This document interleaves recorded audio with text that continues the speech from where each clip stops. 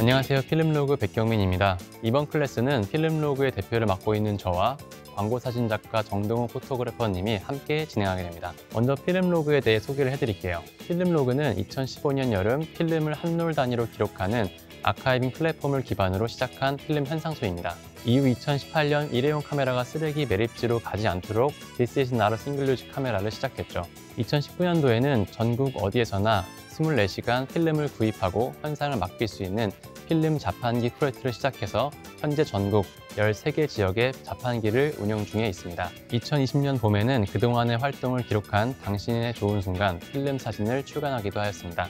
저는 광고 사진가로서 지금 13년째 스튜디오 타임 오브 블루를 운영을 하고 main photographer로서 활동하고 있습니다. 여러분들이 많이 알고 계시는 특급 호텔과 리조트, 골프장과 같은 건축물들을 촬영을 주로 하고 있어요. 데이비스 셀피샵이라는 곳도 제가 직접 directing해서 운영하고 있고요. 데이비스 셀피샵은 처음에 만들 때부터 저희 가족들을 위해서 만든 것들이었어요. 집에 사진가가 두 명이나 있는데 집안에 가족 사진이 정말 옛날 사진밖에 없었거든요. 그래서 저녁 식사하고 집에 가는 길에 들려서 간단하게 촬영할 수 있는 가족 사진을 만들어 보자 라는 취지로 접근했고요. 아이부터 어른까지 모두가 되게 편하게 할 수 있는 시스템이라는 것을 알고 적극적으로 브랜드를 만들게 됐어요. 그래서 현재는 20대 여성분들 가장 관심이 많아 하고요. 편하게 지금 이 순간을 즐길 수 있는 그런 사진관으로 발돋움하고 있습니다. 저한테는 개인적으로 그냥 그 시간을 기록하는 그 자체, 그 툴로서가 가장 중요한 역할인 것 같아요. 제 생각이나 아니면 제 손의 연장선에 같은 그런 개념이죠. 제가 원하는 거를 가장 손쉽게 얻을 수 있는 그런 장비입니다.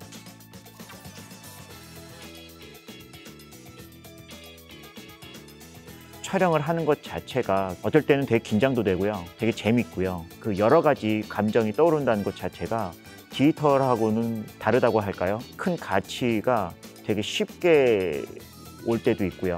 디지털 사- 카메라는 자꾸 찍고 확인하면서 A컷만 남기고 삭제를 하게 되는 거예요.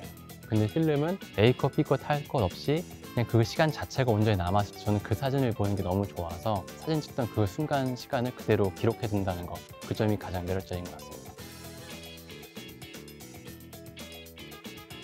찍고 나서 바로 볼 수가 없다라는 부분이 어, 요즘 시대에는 굉장히 불편한 부분인 거죠. 가장 큰 장점이라고 생각하는 부분은 어, 필름은 각각의 개성들이 다 필름 안에 녹여 있다고 생각해요. 그래서 자기는 의도하지 않았지만 그 필름이 가지고 있는 프리셋을 그대로 이용하다 보니 특이한 색감도 나오고 사람을 찍었을 때 사람의 피부결이 좀 몽환적으로도 보이기도 하고 더 맑게도 보이게 하는 그런 정말 묘한 그런 프리셋이 적용되어 있다는 점이 가장 큰 장점인 것 같습니다. 어떤 디지털 카메라가 찍을 수 없는 그런 사진 톤이 나와요. 그래서 제게는 사진을 즐길 수 있는 가장 쉬운 방법이다라고 생각이 듭니다.